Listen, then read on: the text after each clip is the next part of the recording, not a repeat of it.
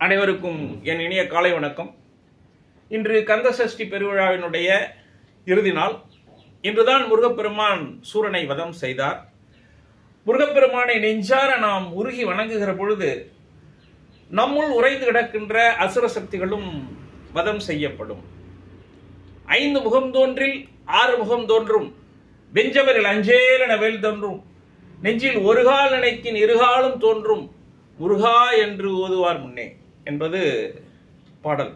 அது என்ன ஐந்து முகம் தோன்றில் ஆறு முகம் தோன்றும்னா சிவபெருமானுக்கு வெளிப்படையாக தெரியக்கூடிய முகங்கள் ஐந்து.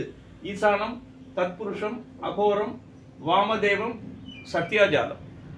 இந்த ஐந்து முகங்களை தாண்டி ஆறாவதா ஒரு முகம் இருக்கு அதுதான் அதோ முகம். இந்த அதோமுகத்தை ஞானிகளால் மட்டுமே உணர இயலும். நம்மால் உணர இயலாது. இந்த ஐந்து முகங்களோடு ஆறாவது முகமான அதோ முகத்தையும் சேர்த்து சிவபெருமான் படைத்ததுதான் முருகக் கடவுள். இப்போ சிவபெருமானை நீங்கள் சிந்தித்தால் கண்டிப்பாக முருகப்பெருமானை பற்றியும் சிந்தித்தாக வேண்டும். அடுத்த வரியை பாருங்க. வெஞ்சமரில் அஞ்சேல் என வேல் தோன்றும். வெஞ்சமர்னா கடும் போர். போர்க்களத்தில் முருகப்பெருமானுடைய வேல் நமக்கு துணை செய்யும் அப்படின்னு நாம் பொருள் கொள்ளலாம். ஒவ்வொரு மனிதனுடைய மனம் போராட்டங்கள் மிகுந்தது. போராட்டங்கள் நிறைந்த மனதோடு மனிதன் வாழ்கிற பொழுது அவன் முருகபக்தனாக இருக்கின்ற பட்சத்தில் அவனை காக்கின்ற விதத்திலே முருகப்பெருமானுடைய வேல் செயல்படும். இதுதான் அஞ்சேல் என வெஞ்சமரில் வேல் தோன்றும்.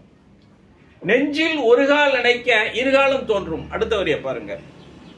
இம்மையில் நீங்கள் முருகனை பற்றி நினைத்தால் அது மறுமைக்கும் பயன்படும். இவை அனைத்தும் யாருக்கு சாத்தியம் அப்படின்னா எவன் ஒருவன்? முருகப்பெருமானை வணங்குகிறானோ அவனுக்கு சாத்தியம்.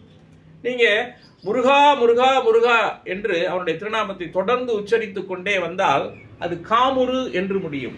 காமுரு என்றால் இன்புற்றுரு என்று பொருள்.